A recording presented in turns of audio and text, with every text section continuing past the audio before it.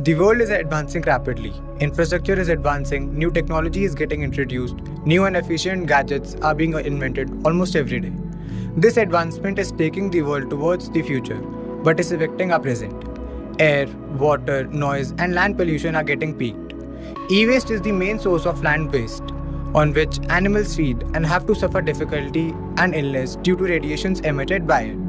Electronic waste generally consists of CPU parts, cables, CDs, which may contain harmful materials such as lead, radium, and beryllium. India's production of e-waste is generally rising.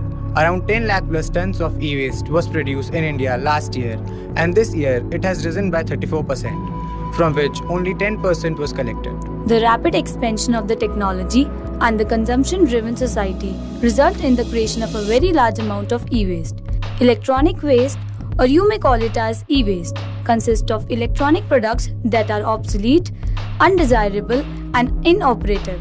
These products are destined for refurbishment, reuse, resale or recycling through material recovery. India's production of e-waste is on a constant rise. E-waste poses a lot of problems in the environment. It results in soil pollution and water pollution, and there are high chances that the cattle and other animals roaming on the roads may try to eat the e-waste if not disposed properly, which will result in various health problems for them. To overcome this issue, we, the members of Enactus SGNDKC, came up with an idea of Project INAS. The Project INAS intend to come up with the most potent and educate way of diminishing the e-waste in the society by providing all the electronic waste to unemployed locals or recyclers who can skillfully transform the e-waste into pragmatic products such as bag tags, CD balls, fridge magnets, etc. This whole project mainly focuses on scaling down the e-waste as well as providing employment to the local artisans in an innovative manner. Project INAS is a multi-dimensional project.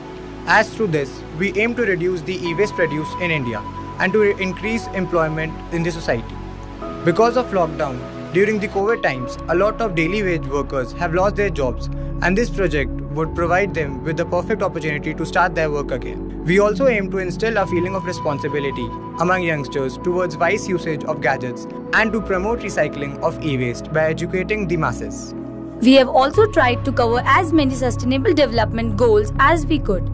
Some of the covered goals are no poverty, good health and well being, decent work and economic growth, sustainable cities and commodities, and responsible consumption and production. Our target audience will be NGOs who will work toward cleaning the environment and mainly theme based cafe and individual who could use our product as a decoration piece at their place.